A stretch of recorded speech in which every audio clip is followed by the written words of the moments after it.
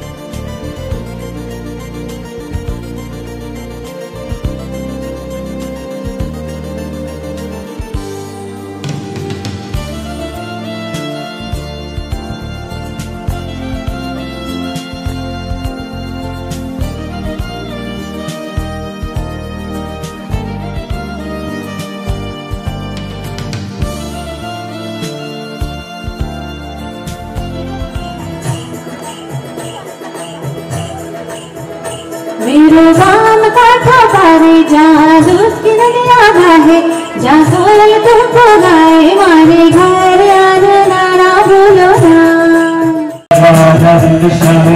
कितने आदर मारे विरस मारे के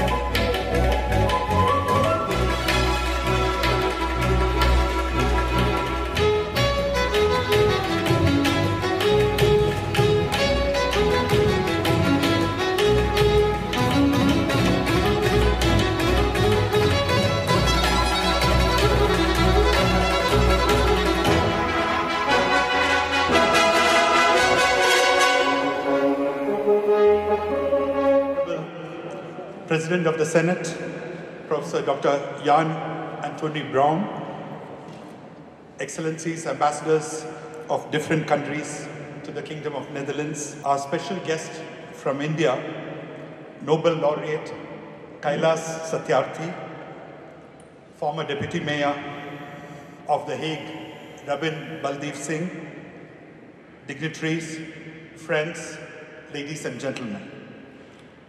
I'm extremely happy to welcome all of you this evening for this reception organized to mark the 71st Republic Day of India. You would be happy to know that the Republic Day marks the day the people of India adopted, enacted, and gave unto themselves the Indian Constitution in the year 1950. Thank you, Jai. Namaste.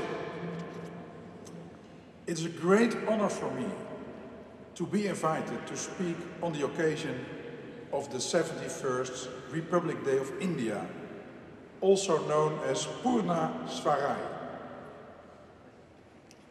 On this day, India celebrates that on January 26, 1950, the Constitution of India came into effect. This year, exactly 70 years ago. Today, India is the largest democracy in the world. It is impressive how your country, Mr. Ambassador, has been able to establish rule, Rai in Hindi, of law in India. It is an honor to celebrate this important day with you. Congratulations. Badhaye Ho. Thank you very much.